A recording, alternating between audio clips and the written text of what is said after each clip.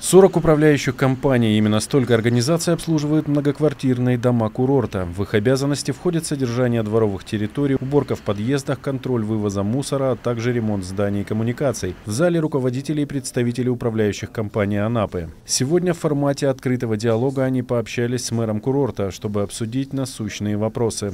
Мы все с вами занимаемся одним, самым важным и главным делом. Создаем максимально комфортное и безопасное состояние наших улиц, тротуаров, дорог, территорий, как придомовых, так и за их пределами. В прошлом году сколько было мусора, сколько было нареканий как от жителей, так и от общественных организаций, от ТОСов на санитарное состояние. Я хотел бы отметить, что многие по, по, по сравнению с прошлым годом, в этом году ведут свою работу но еще более активно, еще более ответственно.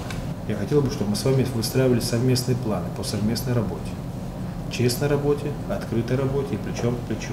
Однако далеко не все управляющие компании предоставляют качественные услуги. С аутсайдерами мэрия ведет индивидуальную работу. Одна из главных жалоб местных жителей – несвоевременная уборка территории. Есть несколько проблемных вопросов, таких как капитальный ремонт фасадов зданий, которые портят облик города, проблемы с коммуникациями и кровлей.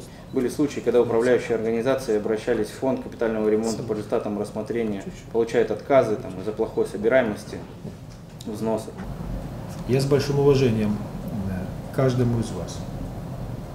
Ровно до тех пор, пока вы с уважением к городу, с уважением к веренным вам обязанностям с уважением к тем людям и к тем многоквартирным домам, которые э, в зоне, вашего, в зоне вашей ответственности. Те обязанности, которые стоят передо мной, как перед мэром, перед мэрией, перед нашей большой общей командой муниципальных служащих, точно такие же задачи стоят перед вами.